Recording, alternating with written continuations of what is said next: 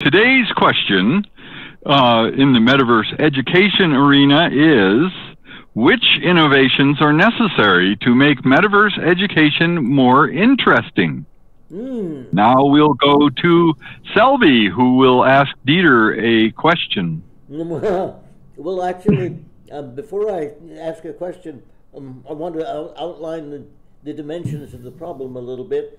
Um, the, um, the we, first you you said more interesting, more interesting than what? More interesting than they used than they have been up to now, or more even more interesting than, than regular classroom, which, as I recall, and I and, and I checked back recently too, is are extremely boring.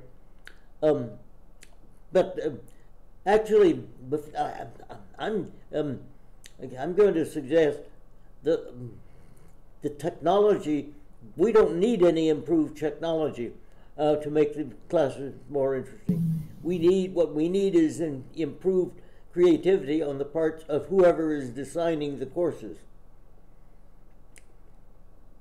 Also I agree there. Also interesting here means more engaging or to make the audience an active part of a lecture, not just a passive uh, group of listeners. Mm.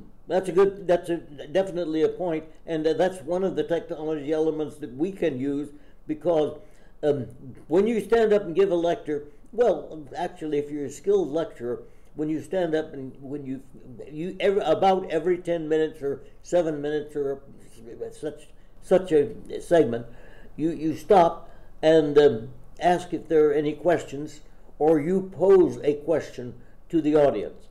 Uh, you, the audience, of course, can't answer it.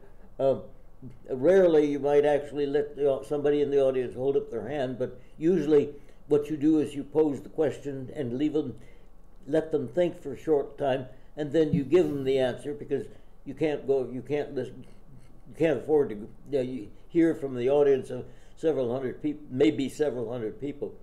Um, now, the thing that we can do in, in a virtual world, we already have the technology to ask questions of individuals or ask accept responses from individuals.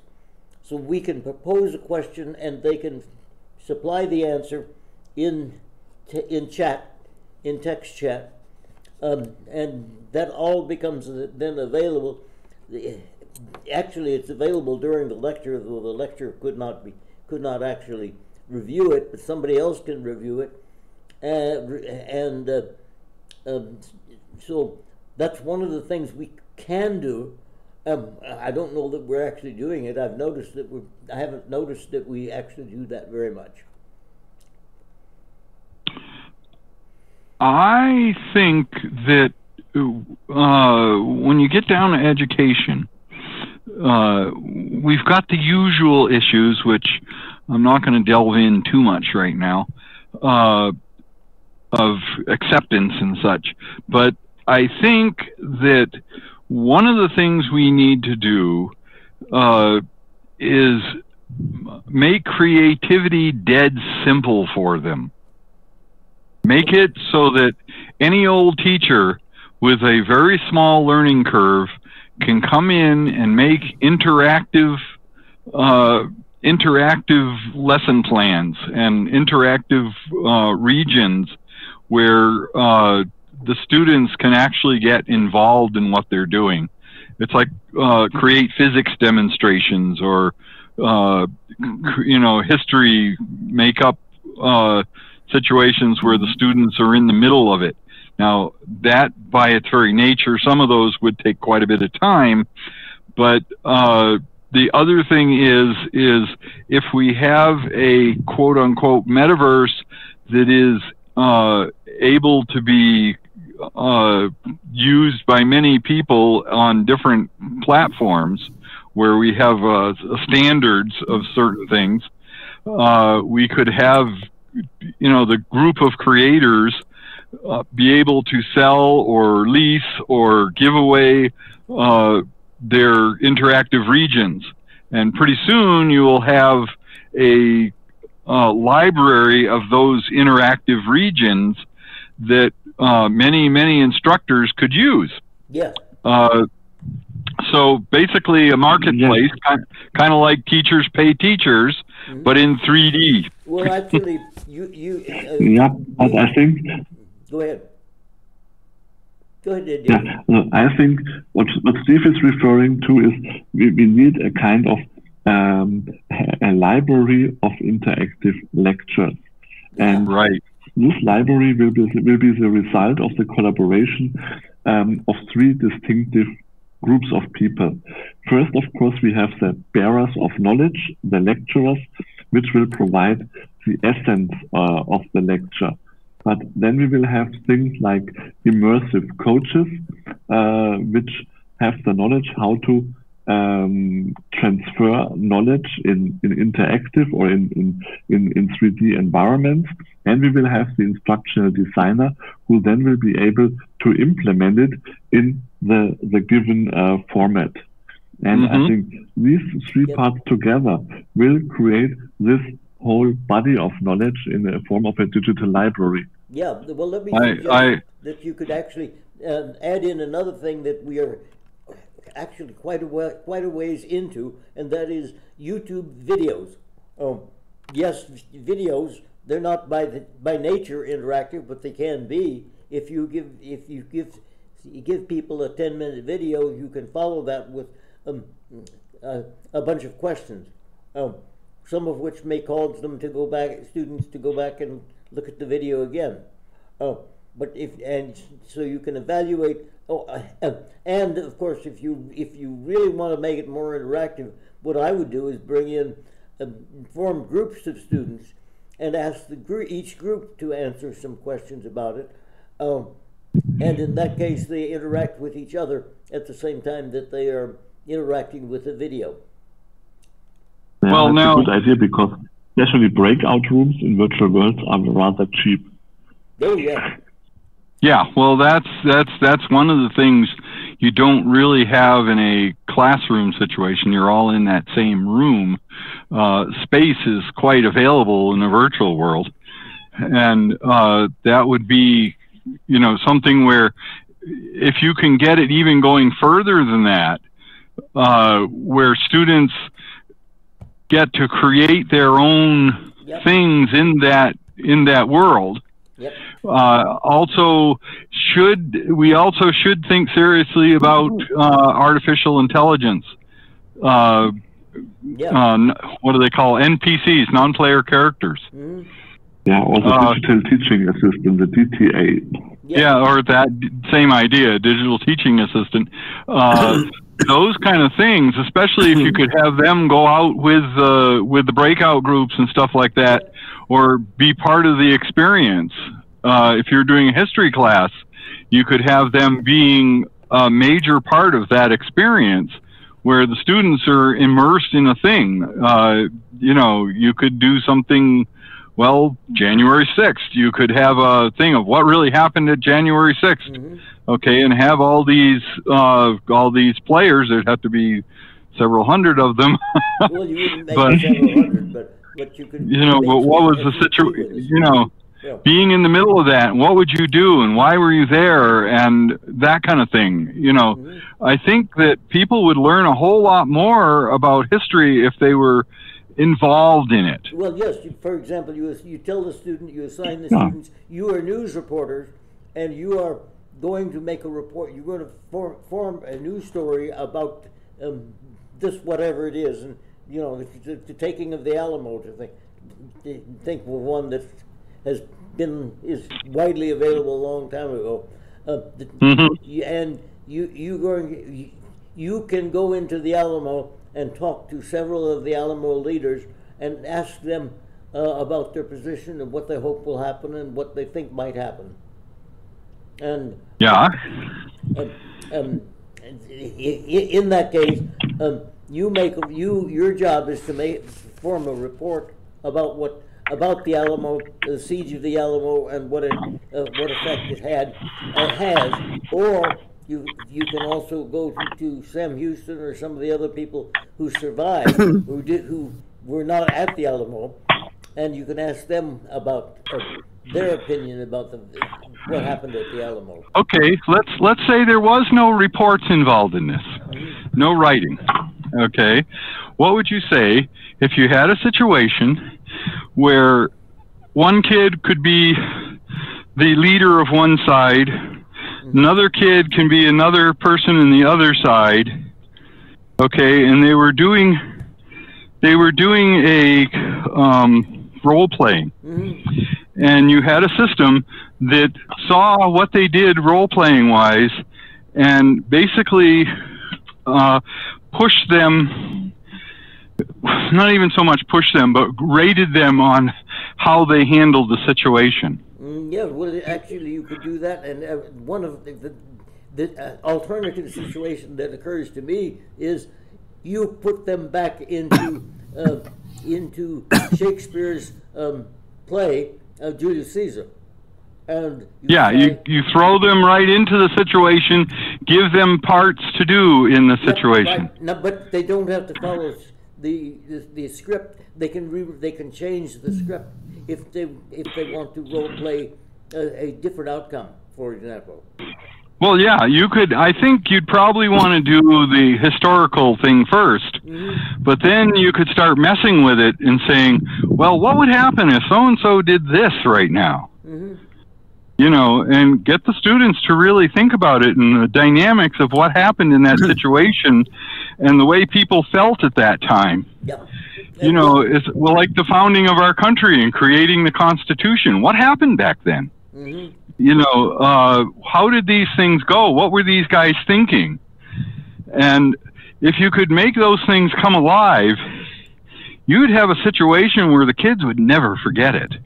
If they were, if they're busily writing up a report and doing research, yeah, you can forget that. I mean, it's you know, you're you've got a test. Well, I, you, you're going to learn enough to do the test, and you're out of there. Well, as a matter of fact, what you've got in that particular case is you've got an excellent story in, in for English uh, students because, of course, that mm-hmm. is a, a, play actually co- covered in many English classes in high school.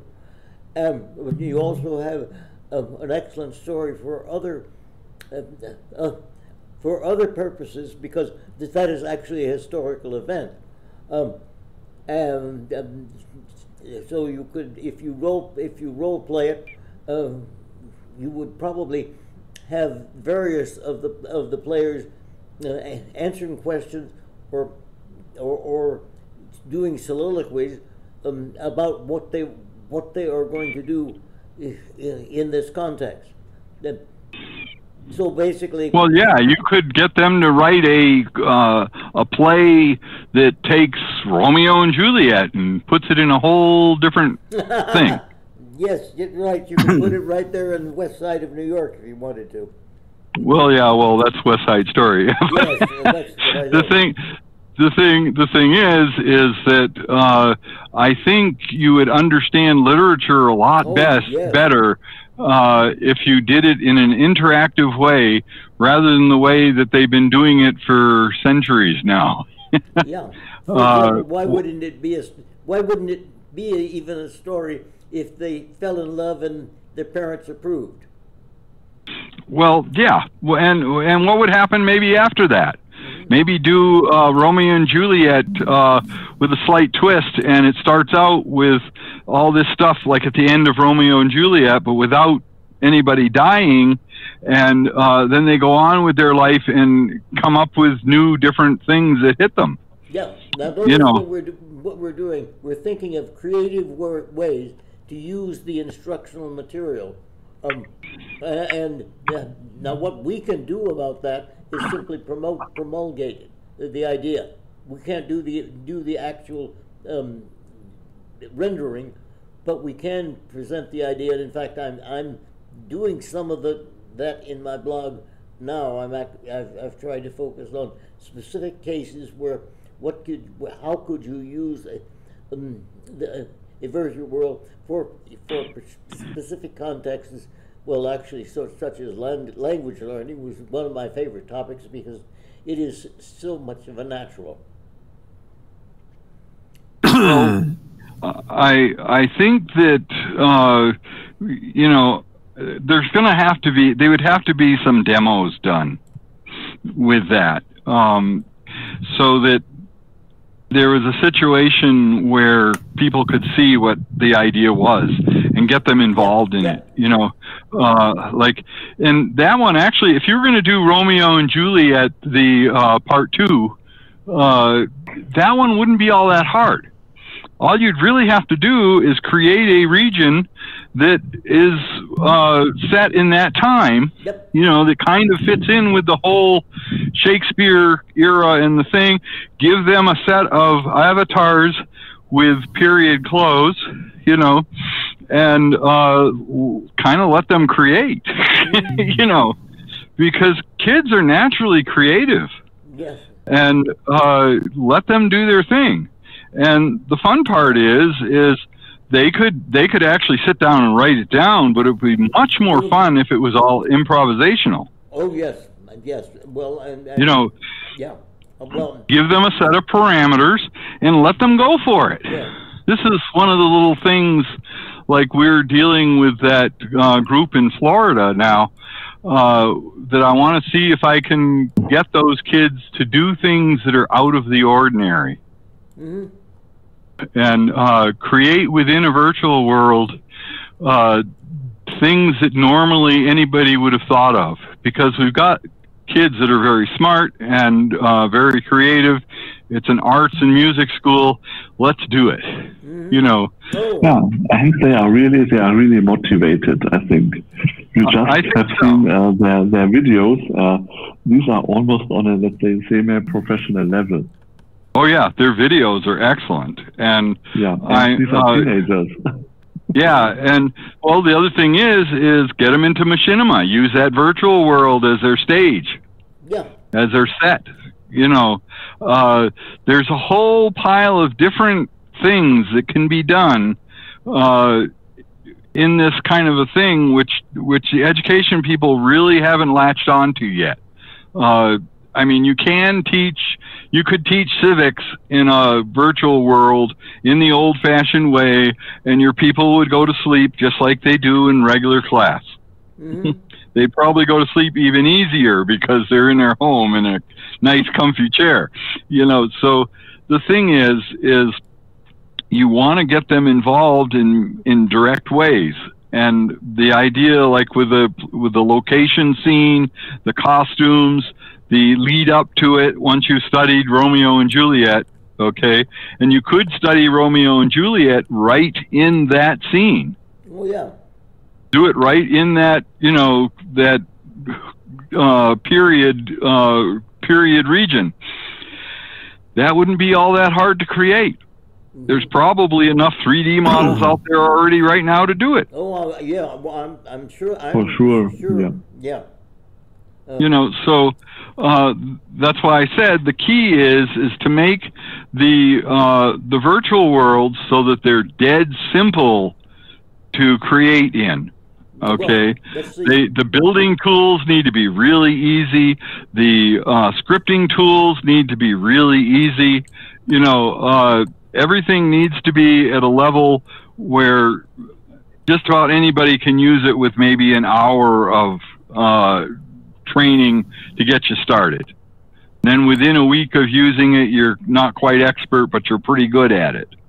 You know, because teachers don't have time. They Yeah. don't have time to do anything. Yeah, well, actually, one of the things to realize is, for many of these things, have, teachers would not have to build anything. Uh, all of the techno, all, all of the sets actually exist. If you can look around and find them, I would bet.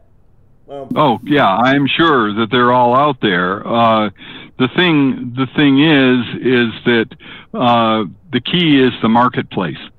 Okay, having a scene, having a scene, and having the avatars set up in a in a marketplace, and uh, so that you could buy the whole package, Yeah. or you can give away the whole package depending on how the person is doing it. If you do them for you know, forty nine ninety five for a whole setup, I'm sure schools would budget that. yes. Okay. If it was five thousand dollars or five hundred dollars, probably not.